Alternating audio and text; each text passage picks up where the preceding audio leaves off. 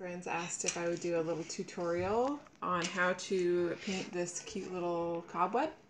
And so um, you start out by taking a white crayon or a clear crayon, and there's kids in the background, so please excuse the noisy. Um, and you just, I just kind of put a dot in the, the center and do your lines out, and then do each row kind of swooshes. Okay, so um, so I have that done. Then you take like a big round brush. You can use, you know, any size. I'm doing this one because it's faster. And you wet the whole surface. So Aiden, can you take the camera and look at the... So you wet the surface with a nice wet sheen. Not, it's kind of puddly, but um, not super puddly. But wet the whole area that you're going to paint. Got it. Oh. Um, it doesn't have to be. Hey guys, can you not do hide and seek while I'm okay. trying to do this tutorial? Um, so we do that. Actually, maybe that's a bad idea. Jack's gonna freak out.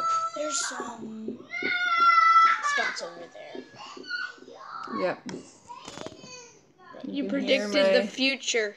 Hear my uh, four-year-old being a four-year-old in the background. Okay, so I have this wet. And the key to having your colors blend really nicely is by having a really wet paper.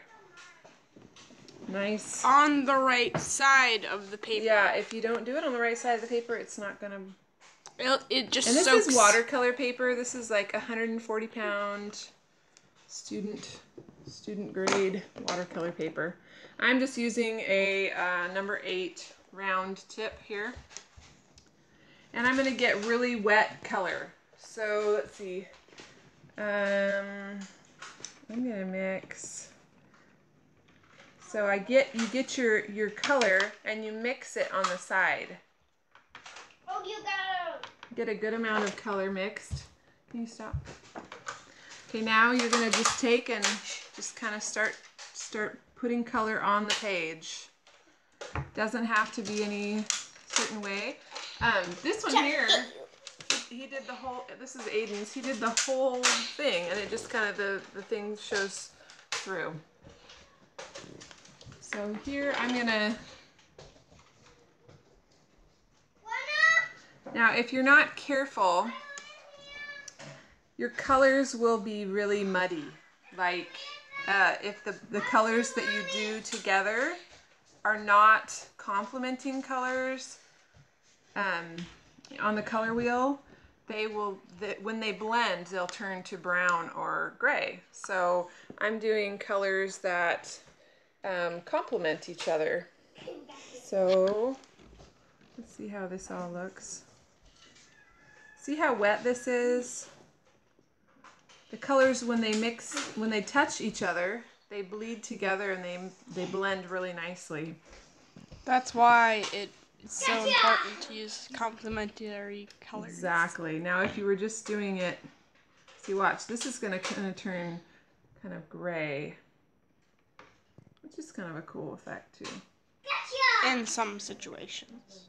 The kids found too that if if you don't um, if you don't uh, press hard enough, the, the, the cobweb won't show through. So, this is pretty fun. This is kind of how, how it's done. You can go back and you can add, I'm going to add some yellow over here. The yellow looks kind of nice. Not right now, honey. Oh. That looks pretty. You can't really see what I'm doing here.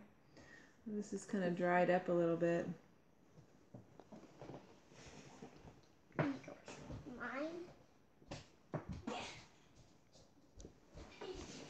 Now I might go back and I might just kind of add some yellow in there randomly. Oh, this one needs more. And then once those colors kind of settle. I know. It's okay though, honey. Kind of. It's, hard sometimes because it doesn't always turn out how we want it to. So anyway, that's kind of how it's done. You can um, you can kind of let your colors tilt, tilt your page and let your colors kind of move together more. That's how it's done. Thanks.